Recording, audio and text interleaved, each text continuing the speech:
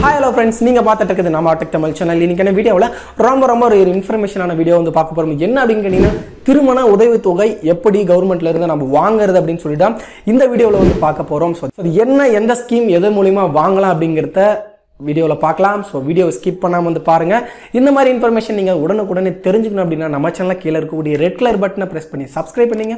கூட ஒரு bell icon அதை கிளிக் பண்ணிட்டீங்கன்னா நாங்கள் போடக்கூடிய வீடியோஸில் உங்களுக்கு உடனுக்குடனே நோட்டிஃபிகேஷனாக வந்துடும் ஃப்ரெண்ட்ஸ் இந்த திருமண உதவி தொகையை வாங்குறதுக்கு முன்னாடி கண்டிப்பாக இந்த ஒரு நலவாரி அட்டை கண்டிப்பாக உங்ககிட்ட இருக்கணும். ஆல்ரெடி நான் என்னுடைய வீடியோஸில் ப்ரீவியஸ் வீடியோவில் சொல்லியிருக்கேன்.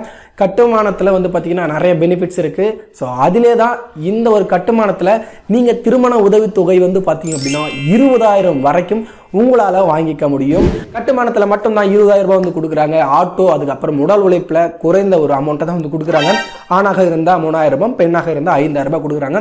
ஆனால் கட்டுமானத்தில் நீங்கள் ஆணாக இருந்தாலும் பெண்ணாக இருந்தாலும் உங்களுக்கு இருபதாயிரம் ரூபாய் அப்படிங்கிற தொகையை வந்து அரசாங்கத்திலேருந்து கொடுக்குறாங்க. இதற்கு முன்னே வந்து பார்த்தீங்கன்னா அந்த காயின் அதாவது தங்க காயின் ஒரு கிராமம் கொடுத்துருந்தாங்க. அதுக்கப்புறம் ஐம்பதாயிரம் ரூபாய் கிராஜுவேட் படிக்காதவங்க படித்தவங்க அப்படின்னு சொல்லிட்டு ஒரு அமௌண்ட்டை வந்து அசைன் பண்ணியிருந்தாங்க. இது ஸ்டாப் பண்ணதுனால இது மூலியம் மூலியமாக வந்து பார்த்தீங்க அப்படின்னா இருபதாயிரம் ரூபாய் வந்து கொடுக்குறாங்க. ஃப்ரெண்ட்ஸ் இந்த அமௌண்ட்டை கண்டிப்பாக இருபதாயிரம் ரூபாய் உங்களால் வந்து கண்டிப்பாக கிளைம் பண்ண முடியும். நீங்கள் வேற ஏதாச்சும் வந்து பார்த்தீங்கன்னா இந்த திருமண உதவித்தொகை பெற்றிருந்தீங்கன்னா இதில் வந்து அப்ளை வந்து செய்ய முடியாது.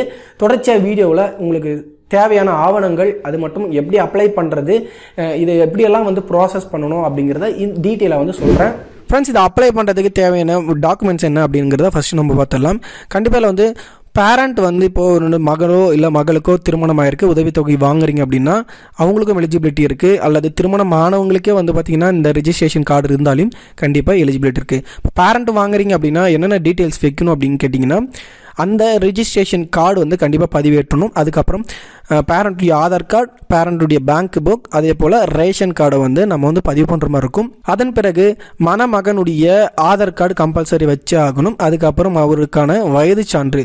நீங்கள் ரேஷன் கார்டு வைக்கலாம். அப்படி இல்லைனா டிசி இந்த இதையும் வைக்கலாம். இந்த ரெண்டு மட்டும் மேனிட்டரியாக வந்து மணமகனுடைய வயது சான்று இப்போது நீங்கள் மணமகளாக இருந்தீங்க அப்படின்னா அவங்களுடைய ஆதார் கார்டு அவங்களுக்கு ஏஜ் ப்ரூஃப் அதாவது அவங்களுடைய வயது சான்றை வந்து வைக்கணும். அவங்களுக்கும் அதே தான் வயது சான்றுனா டிசி அல்லது ரேஷன் கார்டுடைய பிடிஎஃப் வந்து வைக்கலாம். பிறகு முக்கியமான ஒரு விஷயம் இதில் வந்து கோவில் ரசீதி அப்படிங்கிற ஒரு சீட்டு ரிசிப்ட் வைக்கணும். அப்படி இல்லைனா மண்டபத்தில் பண்ணிங்கன்னா மண்டபத்துடைய ரிசிப்டை வந்து கொடுப்பாங்க. அதை வந்து நீங்கள் வந்து கரெக்டாக எடுத்துங்க. அதுக்கப்புறம் திருமணமான ஒரு புகைப்படத்தை வந்து பதிவேற்ற மாதிரி வரும். அதுக்கப்புறம் மேரேஜ் இன்விடேஷனையும் வந்து பார்த்தீங்கன்னா இதில் அப்லோட் பண்ணுற மாதிரி வரும். ஒருவேளை நீங்கள் வந்து உங்களுடைய மேரேஜை வந்து ரிஜிஸ்ட்ரேஷன் பண்ணியிருக்கீங்கன்னா அந்த சர்டிஃபிகேட்டை வந்து பதிவு பண்ணுற மாதிரி வரும். ஒருவேளை ரிஜிஸ்ட்ரேஷன் பண்ணலை அப்படின்னா இதற்கு கீழே வந்து பார்த்தீங்கன்னா ஒரு ஃபார்ம் வந்து கொடுக்குறேன். அதாவது நலத்திட்ட உறுதிமொழி சான்று அப்படின்னு சொல்லிட்டு ஒன்று இருக்கும்.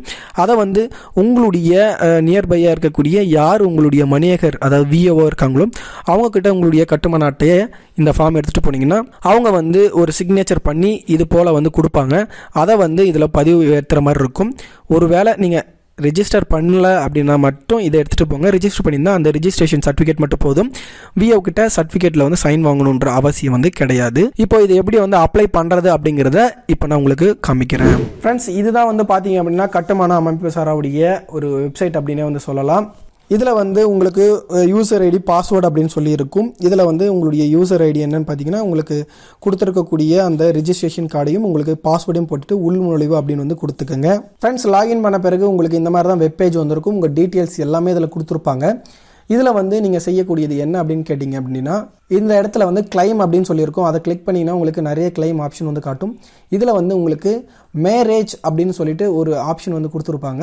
அதை வந்து கிளிக் பண்ணிக்கோங்க. கிளிக் பண்ண பிறகு உங்களுடைய டிஃபால்ட்டான ஒரு இன்ஃபர்மேஷன்ஸ் எல்லாமே இதில் இருக்கும். என்னென்னலாம் சப்மிட் பண்ணுற மாதிரி இருக்கும் முக்கியமாக அப்படின்னு கேட்டிங்க அப்படின்னா இந்த இடத்துல உங்கள் ரிஜிஸ்ட்ரேஷன் கார்டை வந்து அப்லோட் பண்ணிங்க. இந்த இடத்துல நீங்கள் ஒரு வேளை மணியகர்கிட்ட நீங்கள் கையெழுத்து வாங்கினீங்க பார்த்தீங்களா அந்த ஒரு நலத்திட்ட சான்றை வந்து இதில் வந்து அப்லோட் பண்ணுற மாதிரி இருக்கும். கீழே வந்து உங்களுடைய ஃபேமிலி டீட்டெயில்ஸ் இருக்கும். அல்ல யாருக்கு வந்து மேரேஜ் ஆகிருக்கோ அதில் செலக்ட் பண்ணிவிட்டு அவங்க பேர் இதில் வந்து ஆட்டோமேட்டிக்காக வந்து பார்த்தீங்கன்னா இதில் வந்து வந்துடும் அவங்களுடைய ஆதார் நம்பரை சூஸ் பண்ணிக்கோங்க. அதே போல் அவங்களுக்கு ஏஜ் ப்ரூஃப் அந்த ஸ்மார்ட் கார்டை வந்து வைக்கலாம். அடுத்ததாக வந்து பார்த்தீங்கன்னா ஆதார் கார்டு வந்திருக்கும். அந்த ஆதார் கார்டை வந்து அப்லோட் பண்ண வேண்டியது. அடுத்து மணமகளுடைய பெயரையும் அவங்களுக்கு என்ன டேட்டோ அதுக்கான ப்ரூஃப் வந்து இவங்க வைக்கணும். அதே போல் ஆதார் நம்பரை செலக்ட் பண்ணிவிட்டு ஆதார் கார்டை வந்து அப்லோட் பண்ணிக்கோங்க. இதில் வந்து பார்த்திங்கன்னா உங்களுக்கு என்னைக்கு வந்து மேரேஜ் ஆகுது ஆனதோ அந்த டேட்டை வந்து சூஸ் பண்ணிக்கோங்க.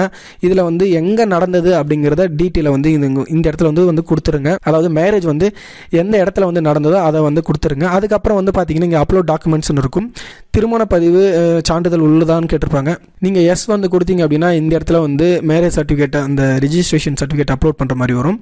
அப்படி இல்லை அப்படின்னு நோ வந்து கொடுத்தீங்கன்னா உங்களுடைய மேரேஜ் ஃபோட்டோ திருமணமான புகைப்படத்தை இங்கே பதிவேற்றணும். கோயிலையோ அல்லது மண்டபத்திலோ நடந்தால் அந்த ரசீதியை வந்து இங்கே வைக்கணும். இந்த இடத்துல வந்து பார்த்தீங்கன்னா விஏஓ சைன் போட்டு அந்த ஃபார்மை வந்து இங்கே அப்லோட் பண்ணுற மாதிரி வரும். அடுத்ததான் உங்களுக்கு ஏஜ் ப்ரூஃபும் வந்து பார்த்தீங்கன்னா கப்பல்ஸ்க்கு அப்படி கேட்டிருப்பாங்க தம்பதியின் முகவரி சான்று. இதை வந்து நீங்கள் வந்து ஆதார் கார்டே உங்களுடைய ஆதார் கார்டை வந்து பதிவேற்றிக்கலாம்.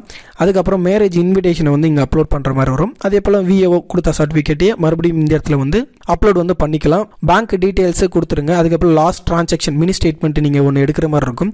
பேங்க்கில் போய் கேட்டிங்க அப்படின்னா கொடுப்பாங்க. அதுக்கப்புறம் லைஃப் ஃபோட்டோ எடுத்துகிட்டு சப்மிட் கொடுத்துட வேண்டியது தான் இது எல்லாம் கொடுத்த பிறகு உங்களுக்கு வந்து பார்த்தீங்க அப்படின்னா உங்களுக்கு ஒரு ரிசிப்ட் நம்பர் வரும். அதை நோட் பண்ணி வச்சுக்கோங்க. இது உங்களுக்கு பின்னாடி வந்து யூஸ்ஃபுல்லாக இருக்கும். நீங்கள் என்ன ஸ்டேட்டஸ் இருக்குன்னு சொல்லிட்டு ஈஸியாக தெரிஞ்சுக்கலாம். அந்த ஸ்டேட்டஸை செக் பண்ணுறதுக்கு இந்த பக்கத்தில் பார்த்தீங்கன்னா விண்ணப்பத்தின் நிலையை அறியன்னு ஒரு ஆப்ஷன் இருக்கும். அதில் வந்து இதில் வந்து உங்களுக்கு வந்திருக்கக்கூடிய டிஎன் அப்படி வந்திருக்கும் டிஎன்யூ அப்படின்னு வந்திருக்கும் அந்த நம்பரை போட்டுட்டு உங்கள் மொபைல் நம்பரை போட்டு சர்ச் பண்ணிங்கன்னா அது என்ன ஸ்டேட்டஸில் இருக்குன்னு ஈஸியாக வந்து தெரிஞ்சுக்கலாம்.